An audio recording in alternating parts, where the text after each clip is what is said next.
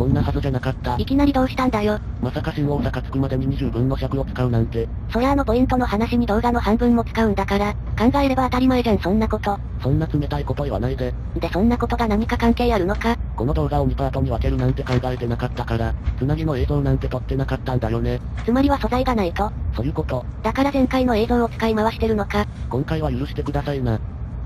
ここで前回してなかった N700 系グリーン席の座席紹介をしましょう。座席の全体はこんな感じで普通席とは違い、2×2 の4列シートのため普通席より座席幅が広いです。ちなみに 2×2 の座席配置は新大阪から鹿児島中央の間を走る、桜や水穂の普通席や、山陽新幹線のみの小玉の指定席でも採用されています。ちなみにグリーン席のリクライニングは、シンクロナイズド、コンフォートシートという名前が付いており、リクライニング時に座面が一緒に沈み込むようになっています。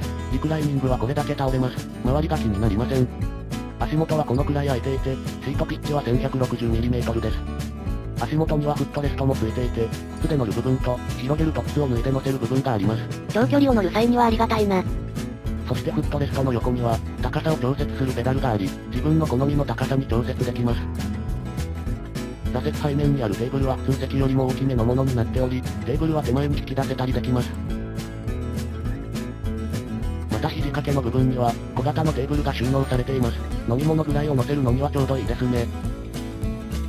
ちなみにこのテーブルは座席背面のテーブルとは干渉しないようになっており、2つ同時に使うこともできます。言い忘れましたがリクライニングはこのレバーで調節します。手前に動かすと後ろに倒れ、奥に動かすと起き上がります。そして反対側の肘掛けには、読書灯のスイッチがあり、このスイッチを押すと読書灯が点灯し、もう一度押すと消灯します。読書灯は座席の背もたれについています。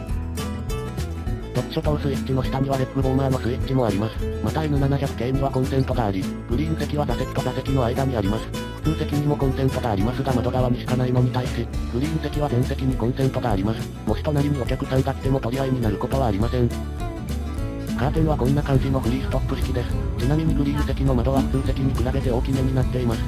あとあまり気にする人も少ないのですが、窓の上にはエアコンの吹き出し口があり、閉じたりすることもできます。この部品に関しては普通席も同じものが使われています。座席紹介は以上です。あのー、ずっと空気だったので早く喋らせろ。霊夢いたのかちょっと、存在まで勝手に消さないで。ところでここは、姫路駅を通過するところです。山陽新幹線は姫路駅の手前から300キロ区間に入ります。さすが300キロは速いな。なんでも姫路駅は新幹線の速さをよく知ることができる駅ということで、外国人にとって観光名所になってたとか、そうなのか。アポークがなかったけど姫路駅からは、世界遺産の姫路城も見ることができます。一つの駅でこんなに見どころがある駅も珍しいな。新幹線では有名なめちゃくちゃ硬いアイスを買ってみました。あーのカチンコチンアイスか。これ、結構美味しいらしいな。でも自分、今回あることをしてみたかったんだよね。なんなのそれはこのペットボトルの中身を混ぜること。は。ついにウプ主、アイスにお茶を混ぜるという暴挙に。ち、違うんだ。この中に、実はお茶じゃなくてカニワが入ってるんだよ。そういう問題なのか。いやー、これを混ぜるととても美味しいと聞いてね。ちょっとどんな味がするのか気になったんだよ。じゃあ早速味見じゃー。そうだな。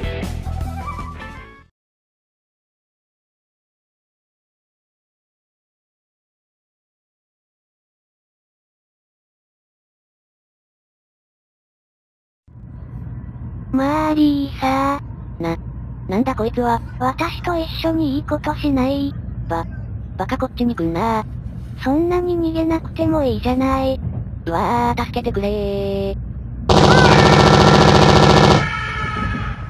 なんか儚く散った声がしたんだが、気のせいだよきっと。勝手に殺さないでくれ。いきなり銃で撃つなんてひどいよマリサ。お前が酔っ払って襲ってこようとしたのが悪い。え、酔っ払ってないよ。は、あれが私の本心なのよ、マリサ。な、何を言っているんだ。ずっと好きでした付き合ってください。全力でお断りさせていただきます。そ、そんなことが、ウプ主、私をちょちょちょちょ、そこまでされちゃ困る。別にレイムのことが嫌いと言ってるわけじゃないんだから、そこまでショックを受けないでくれ。わかったよ。でも私は諦めないからね。はいはい。はいは一回。はーい。もういい。いいよ。では改めて。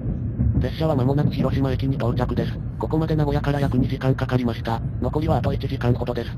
広島といえばもみじまんじゅうだよね。お前の頭のことか。あんたもまんじゅうでしょうが。そんなこと言ったらこの動画に出てる出演者全員まんじゅうだけどな。それな、自分で言ってて何を言うか。そんなこと言ってるともうかまってやんないぞ。ごめんなさいマリサ様。広島といえばあとは穴子とか牡蠣も美味しいんだよね。穴子は絶品だね。宮島観光とか行った時は外せないグルメだぜ。そんなこと言ってたらお腹空いてきた。ということでマリサを食べていい。またさっきみたいになりたいのかお前は。もうそんなのはまっぴらごめんだよ。とかなんとか言いつつどうせまたやるんだろ。さすがマリサ、よくわかってるじゃないの。自慢してどうする。自慢じゃないよ。じゃあなんなんだ。これは私なりの、求愛行動。ちょちょちょちょ、早まんないで。マリサが最初から凶暴な件について、こいつはこのぐらい痛みつけとかないとわかんないからな。マリサから見た私の扱いって、この動画のボケ担当、そして私がツッコミ役、にしてはツッコミがいちいち過激じゃない？霊夢だってボケが過激なんだよ。あれはボケてるんじゃなくて本心なの。なら余計立ち悪いじゃん。そうなのよね。そんなことは置いといて実況しない？もうお前めんどくさくなったんだろ。なぜわかった？そりゃ見てたら誰でもわかるわ。いくらなんでもそりゃわかんねえよ。そんなこと言ってたら広島出ちゃったじゃないか。なんか広島は雑談で終わった感があるな。ちょっとは真面目にやろう。と思ったけど特に何もないので徳山駅付近までカット。かなりぶっ飛ばしたな。徳山ということはやっと山口県まで来たわけだ。山口県の真ん中あたりだね。そしてここ徳山駅は海ギリギリのところを通り勝町の中に駅があるため、通過列車は駅手前で170キロまで速度落として通過します。新幹線の通過速度が遅いため、撮影ポイントにもなってたりします。あと徳山という場所は化学コンビナート工場がたくさんあることに加え、隣の下松市にはあの有名な日立製作所傘と工場があります。新幹線をゼロ系時代から作ってる工場だね。ちなみにゼロ系の視察車も下松で製作しており、初の日本の新幹線車両が製造された場所でもあります。すなわちここは新幹線とは関わりの深い町ということなのか。今乗ってるこの N700 系もここで作られたものもあるよ。ちなみに今乗ってる車両は下松で作られました。なぜ言い切れるのっ日立の工場見学行った時に納車前のこの車両がいたのを見たからさ。てことは比較的新しい車両なんだな。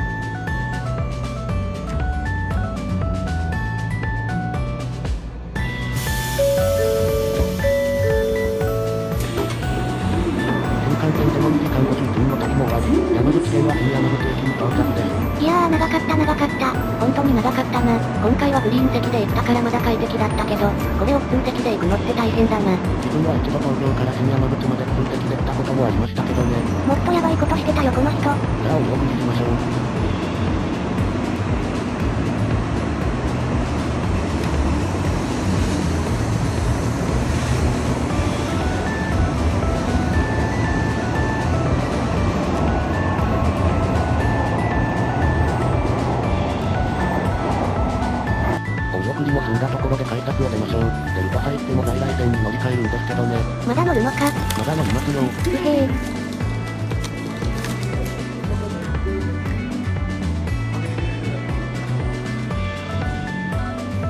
新山口駅の構内はこんな感じ。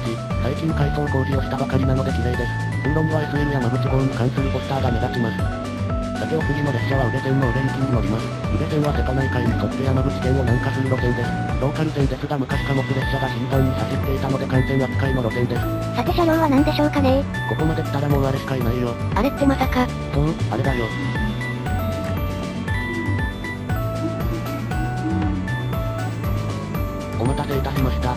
黄色とのご対面です。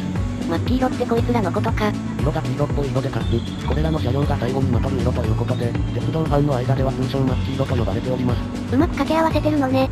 さて動画のタイトルを回収したところで皆さんに報告です。気づいてる人もいるかもしれませんが、ただこれは家に帰ってるだけの動画です。ちょっと勝手に暴露しないでよ。この黄色い車両に会いに来てるのは間違いないでしょ。うぷ主、もっと自分に素直になりなさい。はっきり言いなよいタイトルが思いつかなかったと。はいはいおっしゃる通りでございます。タイトル詐欺にならない範疇で考えた結果がこれなんだよ許してくれ。でもただ変えるだけでこの動画作れちゃうのもおかしな話だぜ。なんせ所要時間が長いからね。5時間くらいかかるもんね。さて乗り込みましたが、使われている車両は安定の105系でしたな。宇部線は最低こいつでたまに123系とかが来るよな。123系は炭鉱の運行も宇部線では少しあるけど基本は増結用で、普段は大田線で使ってるからね。123系も宇部線と小野田線だけしか走ってないから貴重な車両になっちまったな。さあ新山口駅を発車だね。115系3000番台が止まってるな。あれも今となっては山口地区の主力車両になってるから珍しくはなくなったよね。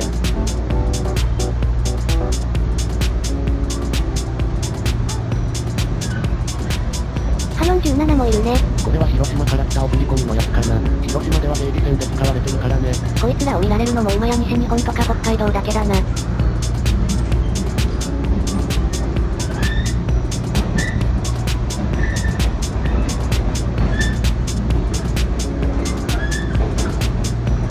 駅前にしては結構閑散としてるよなここって。今からもう仕方ない。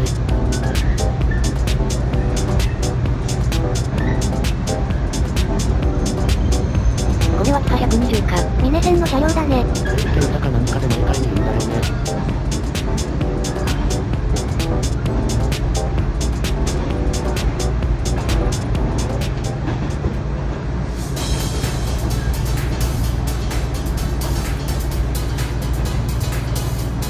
比較的ゆっくり走るんだな。目線は地盤が悪いところを30分くらいで行けるところを、50分くらいかけないとつかないんだよね。電車の方が時間かかるという罠ね。ここはアジス駅です。この駅で一台を行います。ちなみにこの駅を伝統で市に入ります。対向列車も105系だね。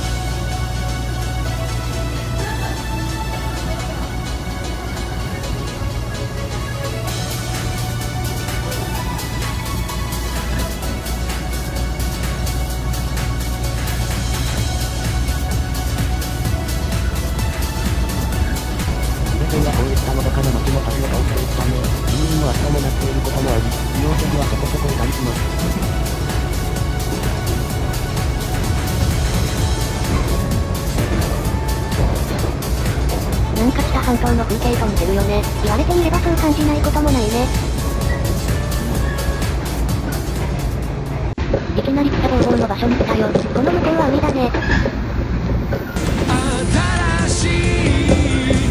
まあ、無駄だねレイム。まだだよ。まだダメだよかけたら。これからなんだから。ちょっと今ね、CM がちょっと歌い出しちゃったから、もっと思いっきり来ないと。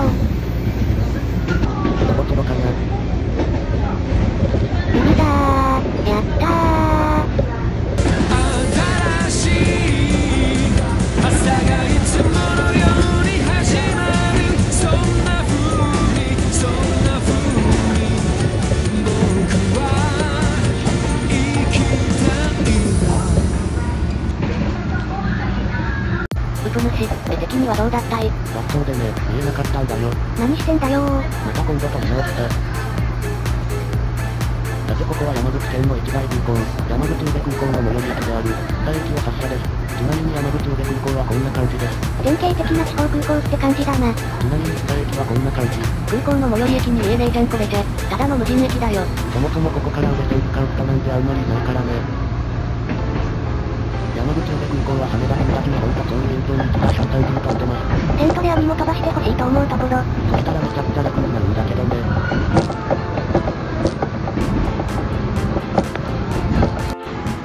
ところ変わってここは宇部岬駅です。この先では過去の遺跡みたいのを見ることができます。おう、それは見てみたいな。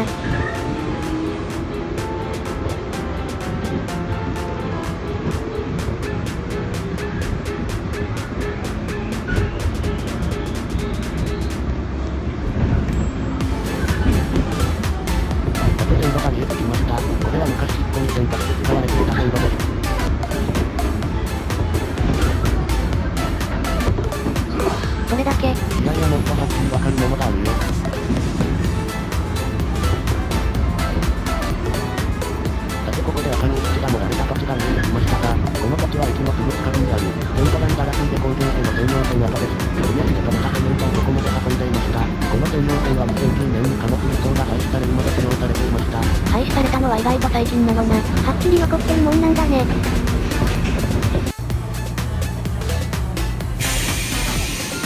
さて本日の最初の目的地であるレジン川駅に到着しました。ようやく着いたのね。結構な長旅だったぜ。半日もかかるからね。さて改札の外に出ました。今後はこの駅からスタートする場面も多くなると思います。宇部市の中心の駅だからな。山陽線にも宇部駅ってあるけど、あれは町から外れたところにあるもんね。駅舎はこんな感じ。地方の駅って感じだな。さあさっさと家に帰ろう。そうだね。ということで本編はこの辺で終了です。ご視聴ありがとうございました。